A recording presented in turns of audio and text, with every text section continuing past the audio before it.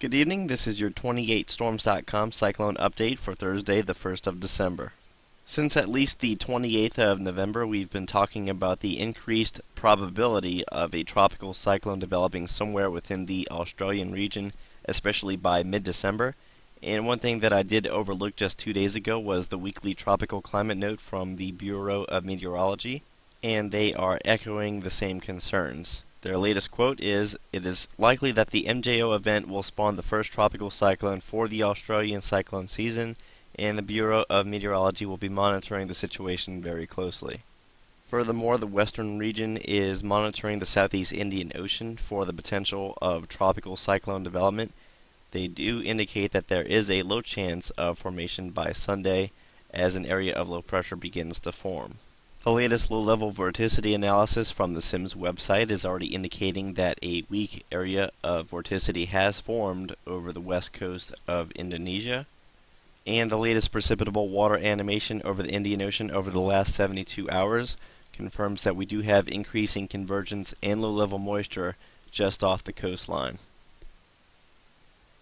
The latest infrared animation confirms that we do have increasing convection in that area but the water vapor also would seem to indicate that the upper level conditions are marginally favorable at the moment at best, and that is due to quite a lot of moderate to strong easterly vertical wind shear on the south side of this powerful mid-level ridge currently located over the Bay of Bengal. However, there are indications that that mid-level ridge will begin to move more toward the west, and therefore the stronger easterly winds to the south should begin to relax. Current wind shear values are very low just to the south and east of the tropical disturbance, but just toward the west, that is where we're seeing extreme wind shear values in excess of 50 to even 60 knots. But again, this wind shear should begin to move more toward the west along with this ridge as it begins to spread into the Arabian Sea. We will take a closer look at the future with the dynamical forecast models in just a moment, but I just wanted to point out that much of the tropics near Australia continue to be quiet, other than some daily shower and thunderstorm activity across the Northern Territory and the coastal portions of Queensland. And although the monsoon trough remains active over the Solomon Islands, nothing is organizing into a tropical low at this time. As stated before, the enhancing phase of the Madden-Julian Oscillation is continuing to spread over the central and eastern Indian Ocean. If you recall, within just the past week, the active pulse has already generated Tropical Cyclone 5A that formed near Sri Lanka before spreading into the Arabian Sea, and it looks fairly likely that we will have at least a second tropical cyclone form in the Indian Ocean from this pulse.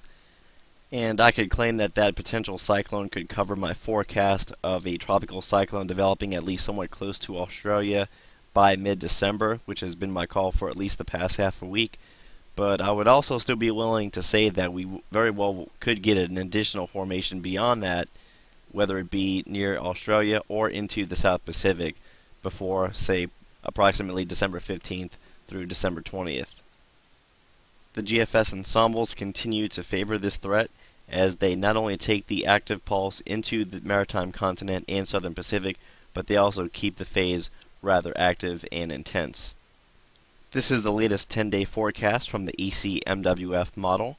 And the first thing that you can key in on is the developing area of low pressure just off the coast of Indonesia.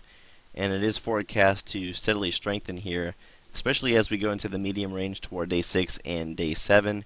We see it located well off the coast of Australia, well into the central Indian Ocean, and not posing much of a threat to anyone except for shipping interests, which is certainly some good news. So it's rather unlikely that Australia will be directly impacted by that system. And as we go into day 10, it is somewhat interesting to note that the model is trying to develop a weak area of low pressure in the southern Coral Sea. However, it very well could be non-tropical in nature. The latest forecast from the GFS model is nearly identical to the ECMWF in that it's developing that cyclone in the southern hemisphere, but keeping it well into the central Indian Ocean without impacting any land masses. In addition, we also see that second area of low pressure begin to develop in the Coral Sea as we go into day 7 and day 8, although it's very weak at this point. It's only down to about 1010 to 1012 millibars and the 500 hectopascal height forecast for that same general time frame from the GFS model is indicating that an area of upper level cutoff low heights will be in that vicinity, which tells me that at least by 180 hours this system is still cold core or non-tropical in nature, but it still has a slight chance to become at least partially tropical, meaning subtropical, as it begins to work toward the east-southeast. But the time that any area of low pressure would have to form into a completely tropical low would be somewhat limited. As you can see, based on the sea surface temperature profile, the system would only have roughly 24 to 48 hours before moving into cooler waters to the south of New Caledonia.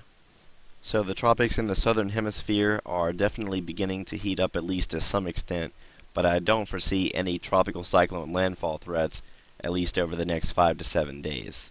So thank you for tuning in. We will have another video update at 28storms.com slash cyclone by tomorrow evening.